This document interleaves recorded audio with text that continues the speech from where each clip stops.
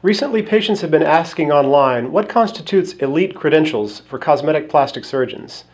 To sort this out, you need to look at education, residency training, the portfolio of work as shown by before and after images, and the environment of care.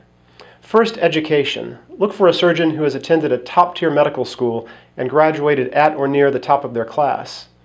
Also look for membership in Alpha Omega Alpha, or AOA, the Medical Honor Society. This society recognizes both academic achievement and leadership amongst the graduating senior class. AOA is to medical universities what Phi Beta Kappa is to undergraduate colleges. Next, look at training. Look for formal surgical training at a prestigious university medical center. The minimum number of years of training to achieve board certification in plastic surgery is five. However, some surgeons have as many as 10 years of formal surgical training. I think the most important thing for the consumer to understand about surgical training is this. Training in surgery truly is an apprenticeship, and the kind of surgeons that one trains under really influences profoundly the kind of surgeon that one becomes during residency training. There truly is no substitute for stellar academic and practical training in surgery.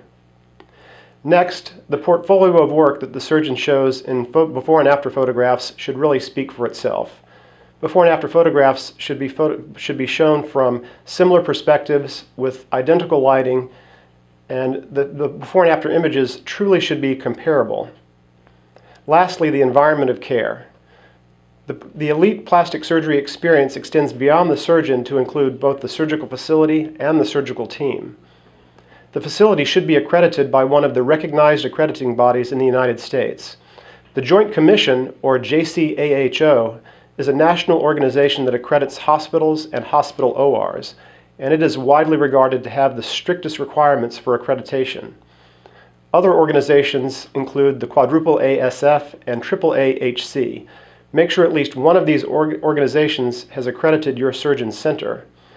Some surgeons elect to have more than one body accredit their center to show patients their devotion and dedication to providing the safest possible patient experience. Look who will be assisting the surgeon during your procedure.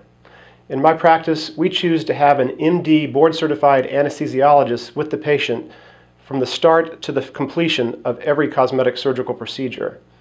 Look at the team who will be assisting the surgeon, which should include certified surgical technicians, experienced RNs serving as circulating nurses, and the center should also have a certified sterile processing technician. If you research carefully and look at education, residency training, the portfolio of work, and the environment of care, you will find a surgeon that can provide you with the elite cosmetic surgical experience.